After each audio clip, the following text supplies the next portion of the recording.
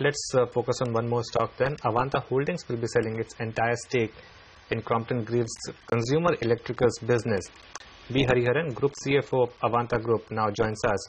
Uh, Mr. Hariharan, good morning, congratulations. But, but uh, you know, one of the concerns that uh, the market has is on valuations, which is uh, significantly below estimates and, uh, you know, uh, listed peers as well at close to 5,000 crores.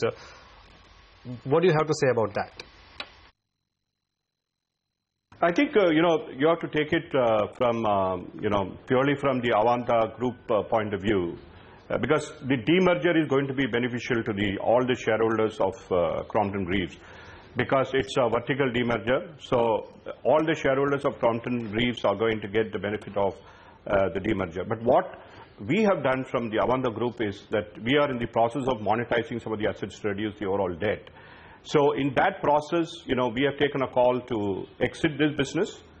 Uh, and we feel that, uh, you know, after a long uh, round of discussions with various uh, uh, PE investors, uh, we found that this value was quite reasonable, given the fact that the demerger is still eight months away, and the effective date of demerger is 1st October 2015, which means that uh, Uh, the Crompton Greaves shareholders will have another six months, uh, uh, the residual shareholders will have another six months of the Crompton uh, profitability and cash flows to be accessed.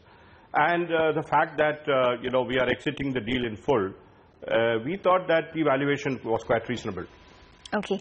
Sir, if I could just dwell on that point a little more, given that this is the business which has been on a stronger financial footing over the last few years, and given that the Crompton brand enjoys a very high market share, is it fair to say that the final price of the deal is lower than the valuations enjoyed by your peers also?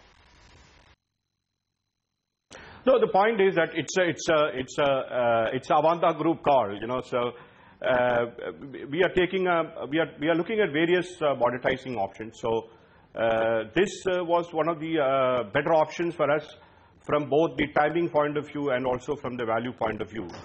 though we are exiting the, the consumer business in full.